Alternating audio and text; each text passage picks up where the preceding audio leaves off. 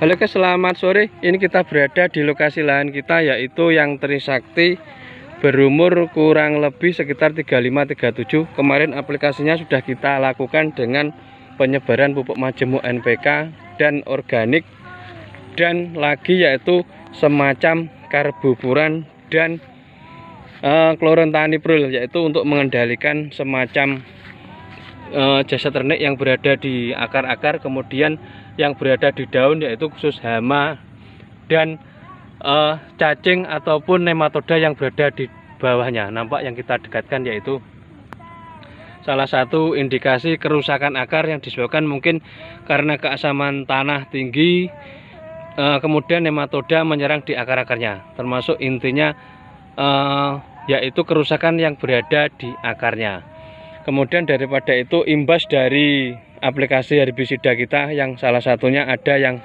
terpecik kuning-kuning kemarin sudah kita semprot yaitu menggunakan zat perangsang tumbuh di antaranya uh, satu golongan dengan atom atonik yaitu bermerek dagang otomon. Kurang lebih kita pakai satu drop 30 mili. Selanjutnya yaitu dengan unsur mikro guys. Unsur mikro kita juga pemakaian dari PT Santani di antaranya Santa Mikro 2 di situ lengkap unsur mikronya cukup 2 gram sampai 5 gram kemarin satu saset untuk 20 liter air.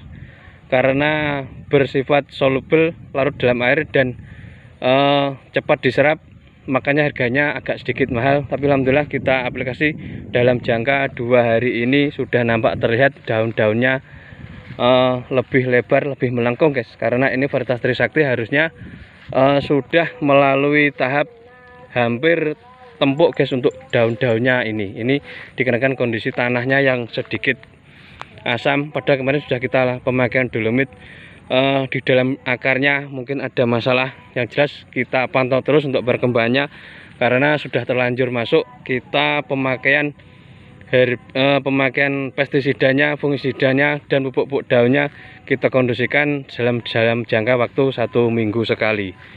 Nampak seperti kuning-kuning ini. Kemarin bahasa Jawa gak mentolok guys ngerti? Karena terlalu mendelep. Ini sudah beransur-ansur pulih karena pemakaian unsur mikro zat perangsang tumbuh dan pupuk sebar yang diaplikasi dengan karbofuran dan klorentaniprol nampak seperti ini di kejauhan lumayan.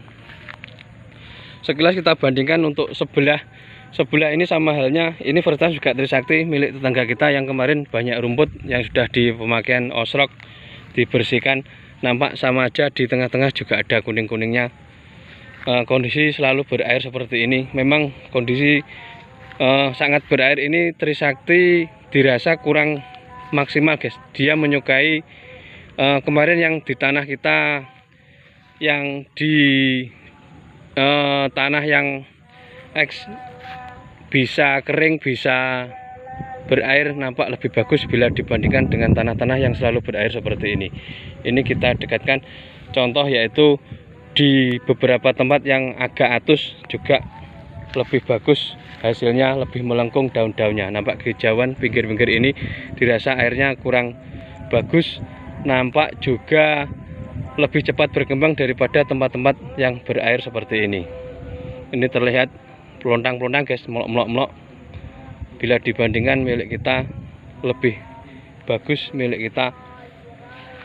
Karena kita selalu rawat. Nampak di tengah-tengah ada kuning-kuning itu ciri khas akarnya rusak.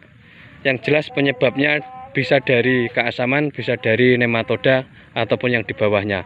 Maka dari itu dalam pengendalian harus dilakukan beberapa fase di antaranya lewat tanah lewat daun lewat semprot harus meliputi semua sasaran. Tidak harus karbofuran saja tidak harus semprot saja. Semua meliputi agar uh, tepat sasaran tepat dosis juga tepat aplikasinya biar sembuhnya cepat. Kurang lebih gitu guys. Tips untuk uh, aplikasi yang ditandai dengan kuning-kuning ini gunakan waktunya pupuk coba dipakai untuk berbahan karbofuran yang disebar dengan pupuk dan aplikasi lewat daun e, berupa unsur mikro dan berupa zat pengatur sumbuh setelah sehat. Kurang lebih gitu guys. Terima kasih